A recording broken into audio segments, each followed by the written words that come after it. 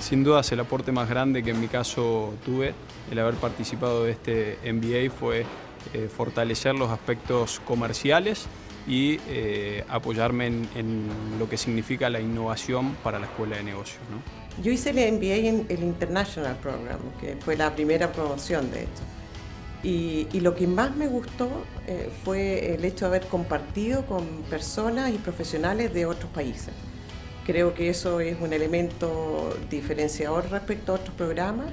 Valoro bastante la experiencia, sobre todo de profesores a nivel internacional, eh, que te permiten dar una, mirada mucho más latinoamericana.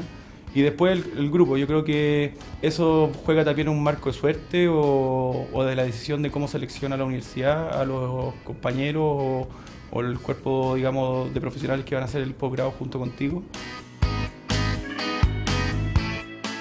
Eh, el hecho de haber trabajado antes de, estudiar eh, te da una, riqueza en, los comentarios y en, lo que tú puedes aprender en, la sala que no tiene comparación con otro tipo de, experiencia. Bueno, una felicitación, creo que es un logro muy importante para Chile y para la Escuela de Negocios de la, del Adolfo Ibáñez. Este logro eh, que posiciona a la escuela no solo en este año, sino en, como consecuencia de los años anteriores.